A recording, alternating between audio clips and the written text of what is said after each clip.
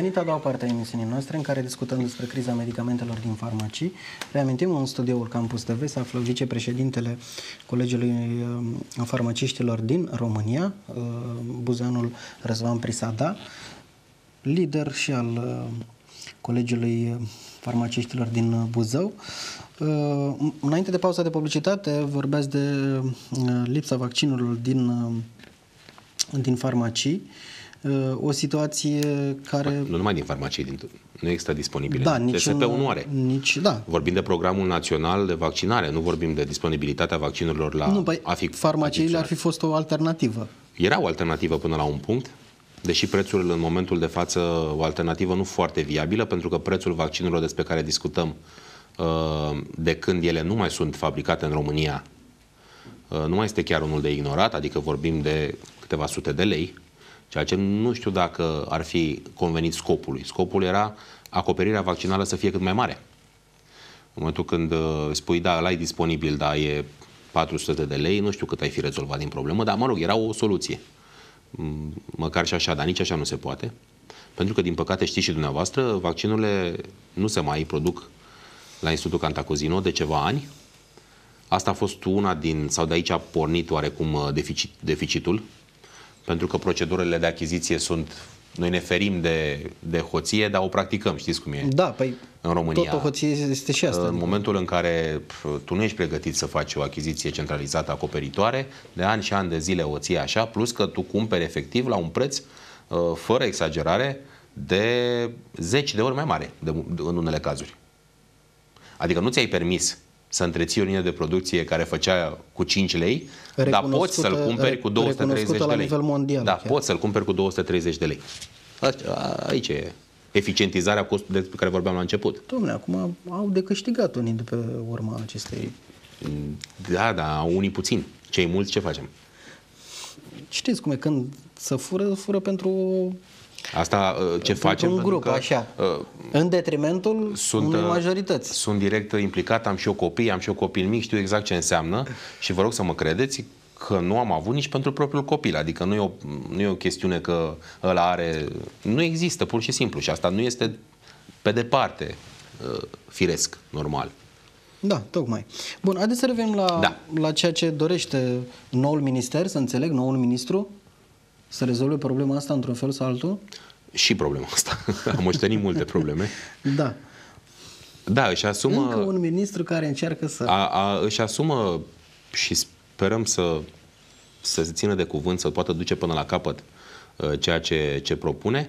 Uh, rezolvarea crizei vaccinurilor se pare că totuși în jur de 15 aprilie, deși uh, nu știu dacă au avut în vedere că atunci este Paștele. Uh, s-a avansat această, această zi și noi chiar în spate zâmbeam ușor pentru că uh, a, a spune oamenilor gata din 15 aprilie o să fie în condițiile în care da. e sâmbătă mare, asta era o paranteză așa. Uh, să sperăm că intrăm într-o, în ceea ce e normal, nu vrem nimic mai mult decât normalitate nu, nu poți să, să spui că nu știai ce necesar ai, nu poți să spui că nu știai ce te așteaptă. Nu vorbim aici despre uh, ceva imprevizibil, vorbim despre o camp- de vaccinarea, nu știu, uh, bebelușilor de două luni, de patru luni. Păi dacă, încă o dată spun, dacă el în, uh, în luna martie uh, are două luni, înseamnă că e născut în ianuarie. Uh, nu pot să cred că Sănătate Publică, DSP-urile și Ministerul nu știu câți copii s-au născut în România în ianuarie. Cu siguranță. Ei, ei au nevoie în martie, respectiv în mai, de acel vaccin. Că s-a spus și asta, că nu știam, că nu aveam o statistică exact ce avem nevoie. Ei, asta cum să nu știm? E cum să nu știm? Uh, problema banilor devine, se pare, una secundară în discuția asta, pentru că, uh, uite că până la urmă bani există. Există metode. Uh, da, nu știu dacă circuitul, legiferarea, există un deficit, deficit undeva și cineva trebuie să ia taurul de coarne. Așa cum n-am avut această problemă în urmă, se poate, cred eu, să nu avem nici de acum încolo. Bun, și legat de uh, criza medicamentelor, cum uh, intenționează, mă rog, uh, noul minister să, să se implice? Din câte, acel... repet, noi suntem cu rol de, să zicem, cel mult consultant, încât noi putem să ne spunem părerea, putem să spunem și să exemplificăm că unele dintre măsurile propuse nu sunt eficiente, că s-a mai întâmplat lucrul ăsta și s-a dovedit că nu merge așa. uh, că piața e ceva mai complicată decât, uh, decât pare. Și aveți dreptate, a spus noastră la început că e un sistem foarte complicat, dar vă rog să mă credeți că cel puțin ca și reglementări, sistemul ăsta a medicamentelor și de contări și ce înseamnă asigurări sociale de sănătate este unul cu adevărat complicat. Da, Eu, rău de noi tot. am încercat să și ne avem nevoie de consultanță juridică și de avocați, că de multe ori la nivel central vorbesc acum, și să știți că nu sunt foarte multe case de avocatură care sunt doritoare să intre în această temă. Atât de îmbâxită este. Da, trebuie să o scoatem de undeva. Uh, sper din suflet că, mă rog, uh, discuțiile pe care ministrul spune că le-a avut, domnul ministru spune că le-a avut cu Uh, producătorii internaționali de medicamente și cu cei de generice și în urma cărora spune dânsul că s-a ajuns la un anumit acord, uh, tocmai la asta să se refere la fiecare parte să-și asume partea ei de responsabilitate și să încercăm, punându-le cap la cap, măcar să nu mai dispară altceva. Nu știu dacă o să revină pe piață mare lucru, dar măcar să să reușim să acoperim nevoile adică imediate. Să fie stopată. Da. Să fie stopat Așa a fost prezentat uh, acest ordin ca fiind unul rezultat în urma uh, negocierilor, discuțiilor cu toate părțile și noi am fost una dintre părți. Uh, o parte din propunerile noastre, într-adevăr, s-au regăsit sub o formă sau alta în ordin, o parte nu. Da, asta și înseamnă negociere. În la 1 septembrie sau atunci nu, el a, el a fost publicat, acum se vor vedea efectele. A, el a fost înțeles. publicat și el a intrat în vigoare de când a fost publicat în monitor oficial, de ieri. Uh, efectele se vor vedea atunci. Nu știu, dacă mi-aduc aminte bine, prin octombrie a mai fost o ordonanță sau da, da, da. din ăsta, uh, care ce... ar fi trebuit să intre în vigoare de la 1 aprilie. Corect, și care a fost abrogat săptămâna trecută, tocmai ca să nu apuce termenul de 1 aprilie. A, este, era o hotărâre de guvern, hotărârea de guvern 800, care reglementa tocmai asta. Pe acest subiect, uh, începând cu 1 iulie 2015, s-au emis uh, una, două, trei, patru acte normative în vigoare și vreo șase variante de discuție într-un an și un pic. Uh, în momentul iulie 2015, când ministrul de atunci, uh, domnul Bănicioiu, a hotărât aplicarea unei legi care exista din 2009, încă o dată spun, dar care nu fusese niciodată aplicată, uh, ca multe altele din. Atunci s-a produs o ruptură, pentru că, încă o dată zic, noi nu am combătut niciodată problematica stabilirii prețului de producător. Aia nu este o problematică care să ne aparțină nouă. Aia este o discuție între producătorii internaționali de generice, Ministerul Sănătății, Casa de Asigurări care asigură fund, fundamentarea financiară. E un pic altfel. Uh, nici măcar taxa Clobea, care și ea e o problemă, dar care nu este La o sarcină... taxa asta? Taxa asta Clobea, pe care mulți, inclusiv dintre decidenți, nu prea înțeleg, deși i-au instituit-o, uh, se referă la un mecanism uh, instituit de urgență la momentul 2009, moment în care consumul de medicamente explodase în România, în 2008 existau încă uh, plafoane la farmacii. Și mă rog, cred că mulți dintre, dintre telespectatorii și aduc aminte cam cum arătau primele zile din lună atunci când farmaciile aveau un plafon de eliberare. Da. da, mie mi se spunea, aveam de la casă conform contractului o sumă de, cu virgulă. În momentul în care ajungeam, atingeam acel plafon, eu trebuia să mă opresc, că de fapt nu, mai, da. nu mai îmi plătea nimeni medicamentele peste acea sumă. Și atunci eram în acea situație în care pe întâi dimineața de la ora 6, ca pe vremuri la lapte, coadă uh, mare. se făcea coadă, ceea ce era absolut anormal. Uh, pentru că și atunci era subfinanțare. Și pe 2 deja toată lumea a terminat plafonul, după urmă o perioadă de pauză până pe la jumatea lunii, se mai obțineau, era o adevărată nebunii. Uh, încercarea de a elibera uh, pacienții de această apăsare s-a făcut fără a te asigura de urmări, fără studiu de impact, cum îmi place mie să spun. Adică nimeni nu face studiu de impact real. Domnule, de mâine, gata, farmaciile nu mai au plafoane. Și așa s-a întâmplat. E, de mâine a început să crească în mod vertiginos consumul, consumul da. la medicamente. Consumul însemnând uh, facturile de contate prin casă și neavând nicio pârghie de a opri această creștere, ne-am trezit după șapte, maxim opt luni, Casa de Asigurări de Sănătate nu a mai putut plăti facturile farmaciilor. Noi nu am mai putut plăti la rândul nostru furnizorilor și totul s-a blocat. Și asta s-a întâmplat uh, uh atunci, în perioada când deja și venise criza economică, astfel încât noi mai avem și acum facturi din 2010 deci care nu au fost achitate de către Casa Județeană de Asigurări de Sănătate. Bun, în valoare la nivelul județului Buzău, în valoare de vreo 3-4 miliarde de lei vechi, mi se pare. E o sumă și asta. Da. Bun, avem o intervenție telefonică. Cu mare Alo, plăcere. bună ziua. Sărt mâinile, doamnă. Am o rugăminte la domnul farmacist. Vă rog. Uh, E vreo speranță pentru un medicament? Știu că n-am voie să spun pentru bolnavii... Puneți, cu doamnă. ep- E trileptalul. Așa, ce cu el? E, Nu prea îl găsim.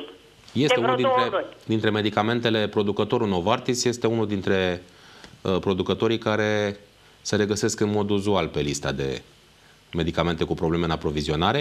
Ele există pe piața românească, dar nu în cantități suficiente. Că nici luna trecută n-am luat pentru un bolnav, nici luna asta n-am uh, găsit. Și nu știu ce să fac. Că este înlocuitorul acela, dar am zis că dacă tot uh, de ani de zile A, merge a, cu ăsta... apropo de, apropo de, de înlocuirea cu un medicament similar sau uh, cu alt uh, produs comercial din aceeași, uh, cu aceeași substanță, întotdeauna o- vă recomand să cereți înainte părerea medicului uh, Păi tocmai de aia, că mi-a medicului zis... care a inițiat, iniția, care a inițiat uh, tratamentul rețeta. pacientului. Mai ales în, Da. acest, în cazul acestor, acestui Nu, tip de că afecțiuni. i-a mers foarte bine ar fi de preferat. cu acesta. Merge de Sunt vreo convins. 10 ani și de asta. Asta este una dintre, dintre soluții, să vă adresați medicului uh, specialist și să-l uh, întrebați dacă există vreo alternativă pentru a nu mai avea această, această problemă, pentru că se, s-ar putea, sau mă rog, cel puțin uh, în următoarea perioadă, nu văd o, o rezolvare rapidă a situației pentru Da. acest tip de medicamente. Este un medicament care, încă o dată vă spun, nu, nu lipsește total de pe piață, dar cantitățile care sunt disponibile pe piață, în toată România, sunt insuficiente re- uh, raportat la, Da, la, drept la dovadă prescriere și cazul la cerere. doamnei. Dar și mai este pentru o ce situație, afecțiuni este mai este o medicamentul? situație referitoare la este Da, vă doamna? aud. Da. Nu, vă aud. E afecțiunea dom- domnului sau doamnei, mă rog, asta e discuția particulară cu dânsa. Am înțeles, da. Dacă sunt. Uh, Dacă uh, există alternative, încă o dată vă rog să vă adresați medicului specialist. Nu știu dacă există viabil pentru ce spuneți noastră. Mai este o chestie la noi, se prescriu rețete pentru, pentru perioade mai lungi de 30 de zile uh, în încercarea inițială de a mai elibera un pic uh, cozile de la, de la medicii prescriptori și, mă rog, pe un tratament cronic în care starea pacientului nu se modifică uh, substanțial de la o lună la alta, atunci prescrierea făcându-se pe 90 de zile și cantitatea de care omul are nevoie la o prescripție este destul de mare. Să fie mai mult, și da. vă dau un exemplu că tot doamna a ridicat uh, concret Are ace- 3 pe zi, vă închipuiți, ar fi Corect. 270. și dacă nu asta aveți pe 90 de zile, că de obicei cam așa Da, din prescripțiile, uh, cutiile sunt uh, Cu 60, 50 sau 60. de, de comprimate și atunci uh, eu vă pot da un exemplu foarte concret pe medicamentul acesta. Porția, în ghilimele, Da. ca să zic așa, uh, uh, farmaciei mele din mediul rural a fost de sub o cutie într-o lună. Și în aceste condiții, uh, Da. cam cum am putea face. Da? El nu e indisponibil pe piață, da? Dar în realitate el este indisponibil pentru Da, pacienți. și știți care mai e problema? Uh, Vă rog. Deci, uh, dacă găsim la o farmacie, uh, nu ți eliberează, trebuie să mergi iar la medic, că nu ți eliberează cantitatea care o are în farmacie. Deci trebuie... Aici ați ridicat o Asta problemă e dezastru. foarte uh, arzătoare pentru noi. Eu personal, uh, în ultimii doi ani, la negocierile cu Casa Națională de Asigurări de Sănătate, Da. am ridicat în mod repetat această problemă. Uh, noi încercând să, să nu ne frigem cu ciorbă, suflăm și în iaurt. Și în, din acest motiv nu ne este permisă eliberarea Da. unei cantități mai mici decât cantitatea lunară corespunzătoare Da. tratamentului. Nu, știu și că din, mă- și de din multe păcate, ori în m-am- cazul pe care dumneavoastră Da. îl, îl descrieți, vorbim aici despre un necesar, nu știu, de 90 de tablete pe lună, uh, deși eu am o cutie cu 60 de tablete, eu nu pot să-i o dau doamnei, Da. pentru că uh, în contractul cadru cu casa este o aberație, da? Da, o aberație, Eu pentru că, o uite, stric găsești 60 la o de- farmacie, corect. găsești și putem încă 60 rezolva la altă mulți dintre farmacie. pacienți pe acest tip de tratamente care sunt parțial disponibile, să le spunem așa, sau insuficient disponibile, ai putea rezolva situația uh, legând două, trei unități, da, Da. fără nicio Asta. problemă. Din păcate, Bun. nu pot să fac asta. Da. Da, deci Vă asta rog, doamnă. numai de Casa de Sănătate depinde, nu? Nu, în contractul cadru pe care farmaciile din România îl au cu casele de asigurări de Da, sănătate, este precizat în mod uh, expres acest fapt, că nu Dar putem elibera... pare că cei de la casă care au făcut asta n-au avut probleme, nu știu ce înseamnă să nu-i Vă dai rog, o vă rog pastilă, frumos și știu mai foarte ales bine în situația, boală. pentru noi chiar este o problemă importantă. na, dumneavoastră eu am, n-aveți nicio eu am zi. solicitat-o eu personal. Uh, În ultimii că- doi ani, la toate negocierile, în toate procesele verbale, le găsiți problema. De fiecare dată au existat diverse tipuri de justificări pentru care nu ni se permite acest lucru, deși ar fi în interesul Da. direct. Bun, doamnă, mulțumesc. Mulțumesc. Să rămâine, Mulțumesc. doamnă. pentru intervenție, sănătate numai bine vă dorim. Iată un exemplu de cum... Foarte sau concludent. Cu ce problem, Da. da. foarte concludent. Uh, și oricum o dai, adică încerci tu ca pacient așa, e ca în filmele alea cu... uh, Deci se pare incredibil, adică să, să nu ai... De, unde e respectat dreptul ăsta la sănătate? Unde e dreptul la... E o întrebare bună. Fai de, da. Și multe dintre ele, încă o dată, cel puțin exemplu pe care îl dădeam, uh, eu, eu întotdeauna când mă mai inflamez, că mă mai apucă nervii, eu spun asta de, de 2 ani de zile, de fiecare dată mi se găsesc tot felul de contraargumente aiurea uh, și spun, doamnă, doamnelor cu care discutăm, nu vă costă nimic, nu vă cere bani. Că aici e o problemă. Am înțeles de la început că dacă te duci și ceri un leu, deja poți să închizi discuții. Nu, noi cerem pur și simplu, cu ceea ce avem, să găsim o metodă să putem fi cât, să rezolvăm cât mai multe cazuri. Nu, ce- nu costă nimic lucrul ăsta. Da, uh, foarte pe scurt, uh, că suntem pe finalul emisiunii uh, la Prisada și n-am apucat să discutăm legat de producție. uh, Cea mai mare parte a medicamentelor cred că vine din zona uh, externă. Da, există da. producători, uh, fabrici de medicamente în România. Din câte știu, din păcate, unele dintre ele sunt în dificultăți financiare destul de mari și uh, cei care nu sunt, în afară de fabrica de, de, de la antibiotice Iași, care a rămas uh, UNESA în proprietatea statului, Da. uh, restul sunt de fapt, deși sunt fabrici din România, sunt de fapt proprietatea uh, marilor producători, unor mari producători de pe piața mondială. Adică sunt și nu sunt medicamente din România. Bun, uh, văd că de ceva vreme, adică de o vreme îndelungată, este o campanie publicitară destul de agresivă pe tot felul de medicamente, de suplimente, de... Aici este pentru mine un subiect atât de sensibil că ne mai trebuie o emisiune. Aș vrea doar atât să pot să punctez. Să facem diferența între medicamente și suplimente. Este foarte important să înțelegem că medicamentul este una. Este un produs care a fost verificat prin timp de ani de zile, căruia, asupra căruia s-au efectuat studii uh, la nivel european, la nivel mondial, depinde de unde vine. Uh, autorizarea este foarte complicată. Pe când suplimentul, suplimentele alimentare, care au inundat piața, sunt practic verificate de nimeni. Ca să o zicem pe aia dreaptă. Uh, Cea mai mare parte a publicității este acum acaparată de această parte, de suplimente alimentare, care se găsesc și în farmacii, dacă ar fi după mine, n-ar trebui să se regăsească, din păcate ele sunt o parte importantă a activității. Uh, Trebuie să sfătuim pe toată lumea, o- o spun la modul cel mai deschis cu putință. Uh, Nu utilizați medicamentele decât atunci când aveți nevoie. Da. Uh, Publicitatea este una, dar ea nu trebuie să creeze în mod artificial nevoie. Cel puțin în cazul medicamentelor. Cineva uh, vă întreabă așa, ce medicamente se duc la comerțul paralel? În Rom- România, în acest moment, este sursă, să zicem așa, din cauza că avem un preț foarte mic, uh, este sursă de aprovizionare pentru alte țări unde prețul este mai mare. Aceeași cutie de medicamente în România costă uh, 3-4 euro și la, în Germania poate să coste 30-40. Dau un exemplu absolut uh, întâmplător. Uh, și atunci uh, decizia este de a nu-l comercializa cu 3 euro când poți să-l dai cu 30. Da? Uh, categoria, ăstea sunt cele, medicamentele pentru care diferența de preț este cea mai mare.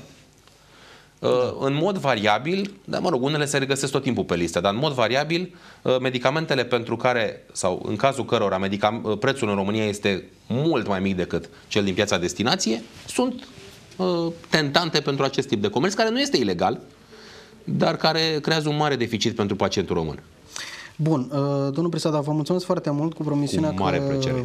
uh, eu cred că veți mai veni să Cu mai mare discutăm uh, multe alte probleme legate de criza medicamentelor și alte lucruri din activitatea farmaciștilor și, de ce nu, sfaturi pentru pacienți, că, slavă Domnului, sunt destule, destule, destule Absolut. probleme, situații alambicate. Încă o dată vă mulțumesc. Vă mulțumesc foarte mult pentru invitație, o seară frumoasă. Numai bine vă doresc și eu. Le mulțumim și celor care ne-au urmărit. Rămâneți pe Campus TV, urmează emisiunea de ale Buzeanului. Magda Ionescu vă așteaptă la o nouă ediție să aveți parte. Numai de bine, la revedere!